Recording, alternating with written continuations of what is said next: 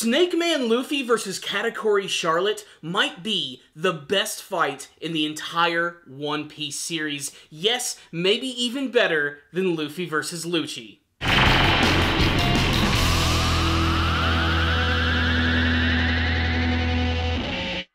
Oh, One Piece chapter 895. How do I love thee? Let me count the ways. This was an epic chapter of One Piece. Next to seeing Carrot transform into her Sulong form, I have to say that this is without a shadow of a doubt my favorite chapter from the Whole Cake Island arc as I have been waiting begging, salivating for an entire chapter which is going to be devoted to Luffy versus Katakuri. No cutting to other events, no goofiness, just raw, pure action. And we totally got it in this chapter. And on top of that, we got a brand new form for Luffy. That's right, another variation on the Gear 4th. We get to see Luffy, the Snake Man. And unlike his original Gear 4th form, this one is a little slimmer, a little faster. He has longer, more wild hair. He looks like frickin' Blanka from Street Fighter now. And he is also able to make use of an ability that we saw in his battle with Doflamingo, an ability which was known as the Culverin, where his arm would be able to change angles in midair without having to bounce off of a wall. Here, combined with his speed, he is able to use it to great effect. And that is why he is known as the Snake Man, as now his uh, limbs just move and bounce all over the place, and you never know what direction they're going to come from. His fist might fly right past your face, but then it could come up from underneath you and just hit you out of nowhere. It makes him really tough to predict.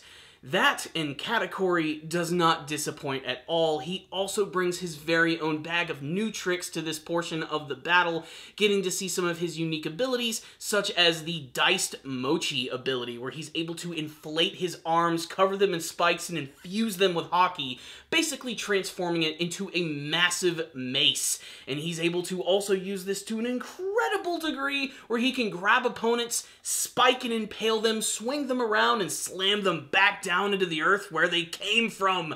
And it always leaves a big explosion, and it's always really awesome.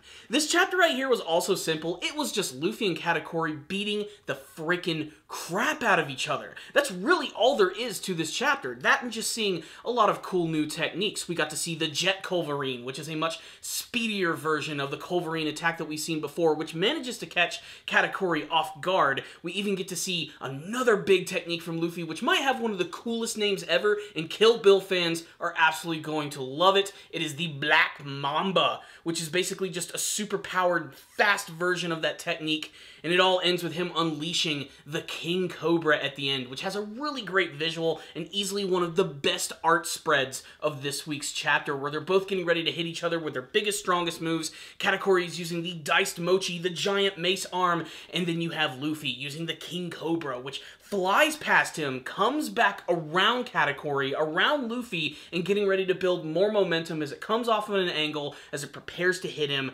point blank in the face, and that's the end of the chapter. They both just unleash these huge techniques on each other, and then it ends. And since something really cool happened and we want to know what happens immediately after, the next chapter is going to be on break. Isn't that how it always is?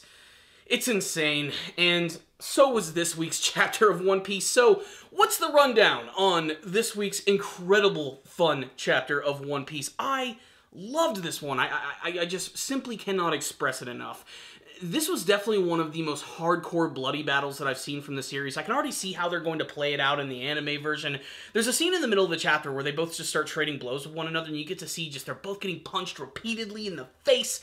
It, it, it kind of reminds me of the final battle between Naruto and Sasuke, how it's like escalated to this like ridiculous point where these guys are just bringing on some extreme fisticuffs where they should already be dead but they still continue to fight. And, you know, as awesome as Luffy's Snake Man ability is, I'm glad that it's not like just a win button. That could have been such an easy way to get out of this arc. For Luffy to have a form that just gives him so much more power than his enemy to just completely erase them from existence.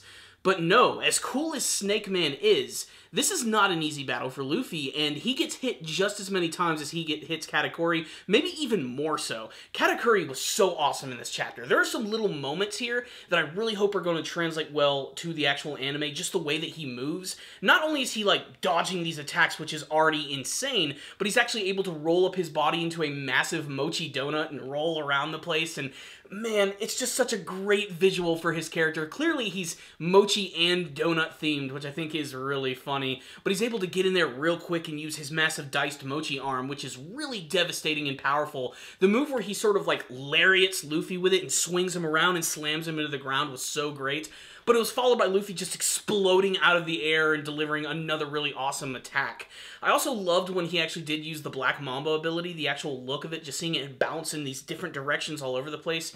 You can see Katakuri just sort of like almost dancing through the attacks as he's jumping over each and every one just to get right up in Luffy's face and hit him it's just great. It's almost like looking at the storyboards for an amazing anime fight. That's what I really do truly love about it. And that's always what gets me pumped up when I read the One Piece manga series. I'm like, man, this is awesome, but this is going to look even crazier in the anime version. I truly do hope that they manage to give it some TLC in terms of the production value.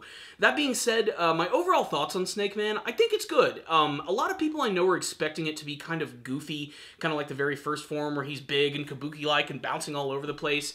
Um, this one's definitely a lot more subdued and, dare I say it, just badass. It's just awesome looking. I really do love the look of it. I especially love that his hair grows out and makes him just seem all the more wild, while he still has like all of that smoke, which is still ringing around his body. And like I said, he's not completely slim like we usually see Luffy. He's still kind of beefy but nowhere compared to the first form, which implies, of course, that he is going to move incredibly fast. But again, like I said, it's really cool looking and super destructive and awesome, yet still Katakuri just continues to fight back with every single thing that he has really the amount of choreography, speed, and movement and impact from this chapter just really left an impression on me. And uh, as I said, it might be my favorite fight from the entire series. This combined with everything that they've done so far in the battle, you gotta admit, this is pretty freaking epic as far as One Piece battles actually go, especially because it's just so even the entire time. Like, even at the end of this chapter, I, I have no idea who's going to win this battle. I mean, history will show that maybe Luffy will win. He is the main character of the series, he has plot armor on his side. But who knows? This could be an arc that could break a lot of convention. Can you imagine what would happen if Luffy actually lost to Katakuri here, I think it would be insane. The reason I am going to give the edge to Luffy is just simply the number of new techniques that he's bringing out. It shows that he always has another trick up his sleeve. You know, Jet Culverin, Black Mamba, King Cobra. Whereas Katakuri in this chapter just sort of keeps bringing the same old tricks to the book, aside from his brand new Diced Mochi ability, the Diced Mochi Slayer. He chooses that as his final attack. Either he's so confident in the actual power of that, or we really have seen everything that Katakuri is actually capable of, which leads me to believe that Luffy might actually end up winning the fight. I mean, that that's almost a guarantee, really, but that's kind of the way that I do see it going at this point. What I will say is this was just a spectacle of a chapter. It just exploded off of the page. Almost every single panel was incredibly exciting. Luffy going insane and not even thinking during the battle and just moving the entire time was really refreshing, just really pushing Katakuri back, but he is still so calculated in the way that he moves, and he's a giant mochi donut, man. What's not to love? This was epic. It's the only way to describe it. It's the most overused word on the internet, but still, it just it, it's just that, just epic. Five out of five from me. I'd love to hear your thoughts about this chapter. What did you think of Luffy's brand new form, the Snake Man? Did you like it? Were you disappointed by it? What are your favorite brand new attacks that he used in this chapter? Who's going to win, him or Katakuri Charlotte? And what do you hope to see from the conclusion of the Whole Cake Island arc, and what your hopes are for the future of the One Piece manga series? Thank you guys so much for watching this review. I'll see you guys next time, and as always, stay damn down, baby.